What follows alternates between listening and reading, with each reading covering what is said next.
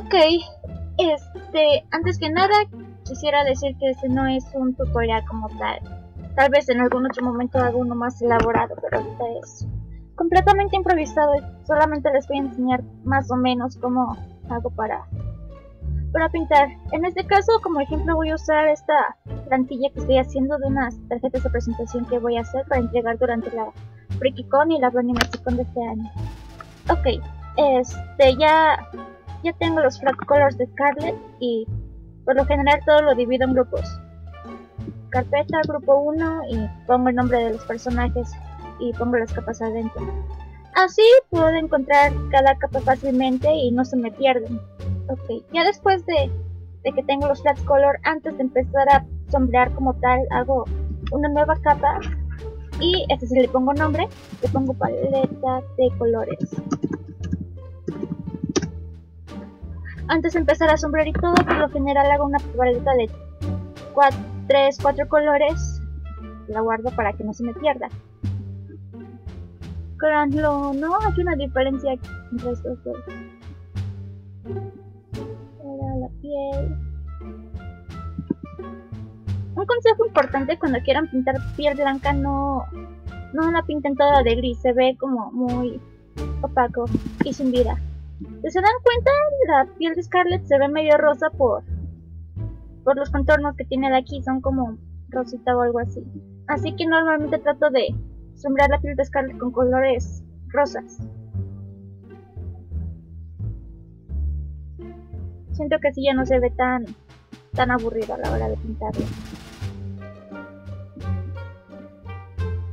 Para los ojos ahí solamente uso uno o dos colores.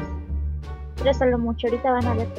Ya que tenemos nuestra paleta, este, normalmente empiezo a, sombrear aquí. Ok, tengo todo dividido en capas.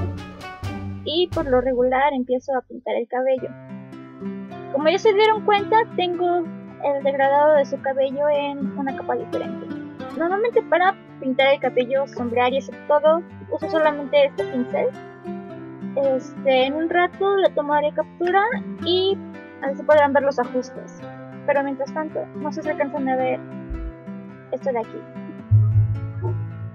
Ahora, para empezar a sombrear, y un truco muy fácil para que no se salgan de, de las líneas, que se llama reservar opacidad. Así ahora, cuando quieran pintar, no se va a salir de, del color que ya tienen. ¿Me explico? Y ahora normalmente selecciono el, el pincel y normalmente empiezo con pinceles y pinceladas grandes y trato de, seguir, de seguir algo de lógica hacia dónde está cayendo el pelo y así. No siempre me sale bien, pero al menos lo intento. Y cada vez uso un color más oscuro y pinceles más pequeños.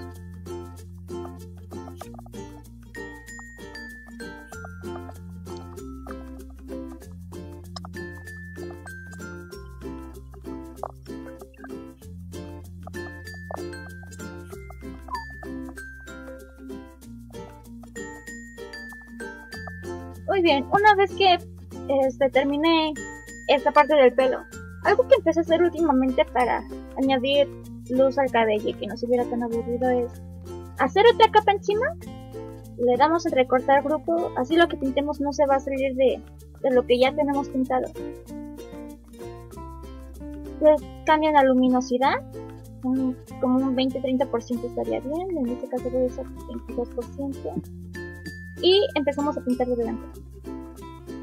Traten de seguir como la lógica del cabello. Piensen en todo el cabello como mechones diferentes.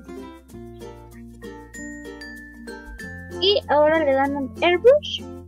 Le dan a este botoncito de aquí que se llama intercambiar color normal transparente y empiezan a borrar los, los extremos.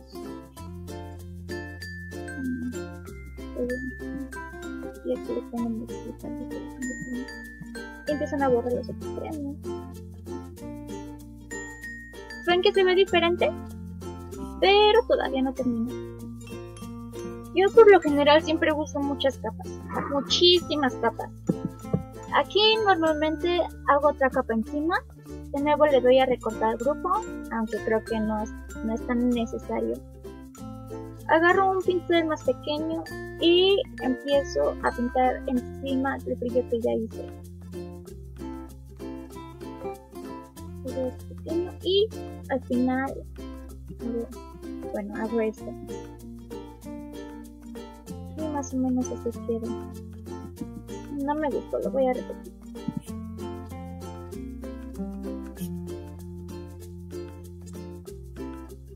Dio luminosidad. ¿Ven la diferencia?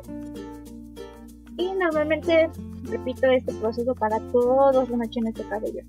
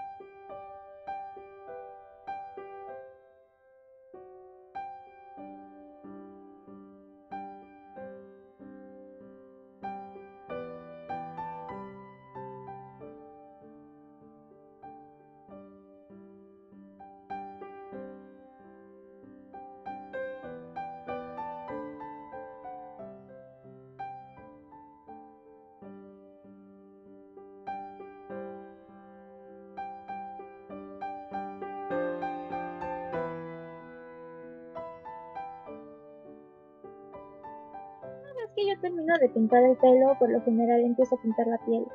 Y aquí algo curioso. Por lo general creo que yo soy la única loca que le encanta ver cómo se ven todos los pechazos. Por lo regular siempre sigo el mismo procedimiento cuando pinto el pelo. No, no creo que tenga mucha ciencia. Primero pinceles grandes, luego pinceles más chicos y, y así hasta terminar. No sé, en lo personal me encanta cómo se cómo se ve Scarlett con la piel rosa morada. Hace que no se vea tanto como el típico unicornio blanco y negro.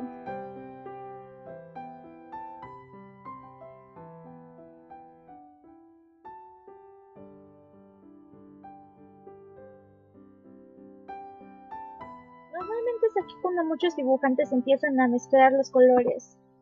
A mí en lo personal no me gusta mucho cómo se ve ¿Por qué? Bueno, miren lo que pasa cuando desenfocan mucho los colores.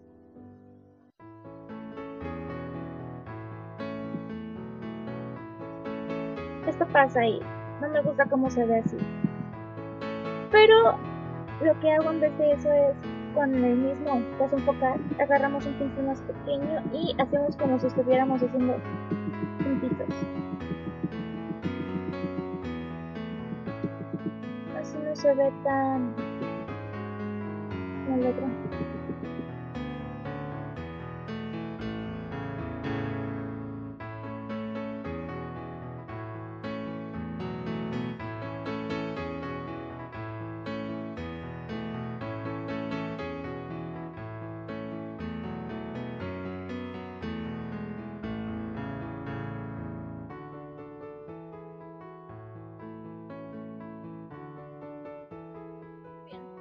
La parte que sigue ahora son los ojos. Y les juro que son mi parte favorita porque por lo general los dejo al último.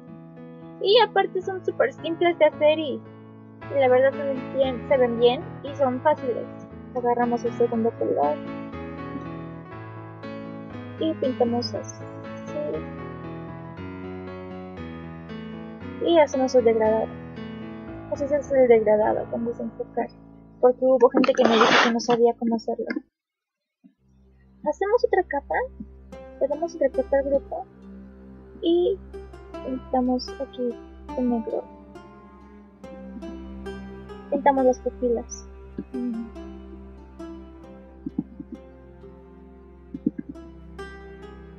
Siempre tengo problemas para pintar las pupilas porque nunca sé cómo dónde pintarlas. Hacemos otra capa y pintamos la parte de arriba de negro y desenfocamos. También hay que desenfocar aquí donde se ve la pupila. Ahorita van a ver por qué. Ahora, ahora hacemos una capa debajo de las dos que hicimos. Agarramos el primer color y le cambiamos a modo luminosidad.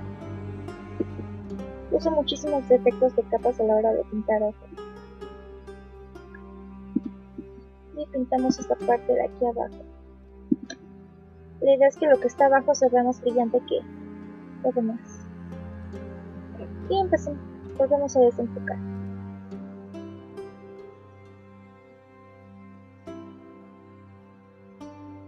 Se ve súper bien. Ahora hacemos una capa entre las dos primeras que hicimos, volvemos a darle luminosidad y volvemos a pintar con ese primer color, esta vez con un pincel más pequeño. Perdón, en luminosidad. Con un pincel más pequeño y que se vea así, que atraviese la parte negra.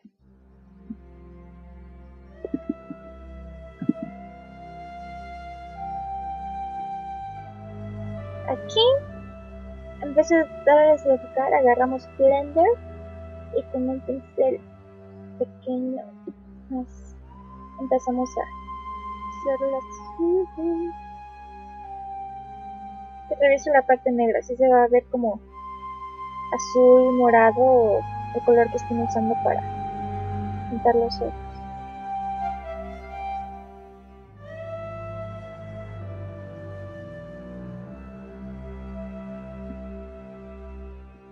No yo siento que se ven como muy brillantes y no sé. Ahora encima de todas las capas de los ojos que hicieron, también le dan a recortar grupo. Pintan de blanco. Estos son los del ojo.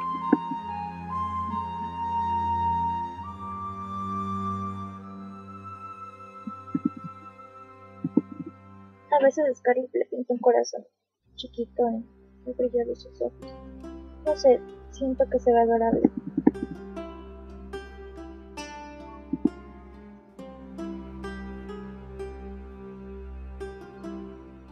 Ahora hacemos una capa abajo y con airbrush también pintamos en un pincel grande y lo más desenfocado posible.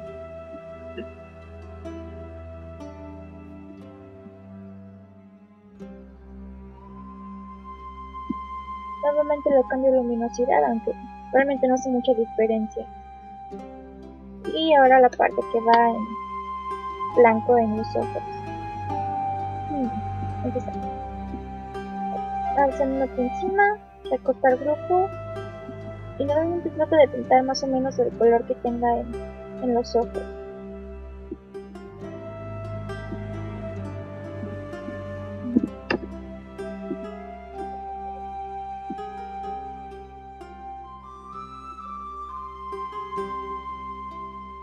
Y aquí sí desenfocamos todo.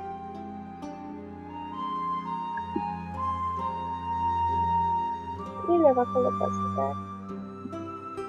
Y hago otros brillos de color blanco.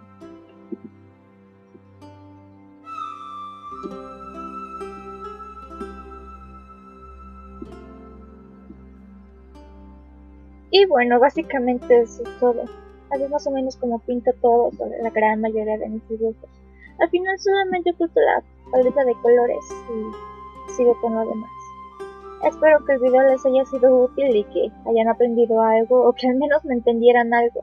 Si les queda alguna duda díganmelo y trataré de hacer otro video explicando con más detalle cómo hacerlo. ¿Ok? Muchas gracias por verlo y hasta la próxima.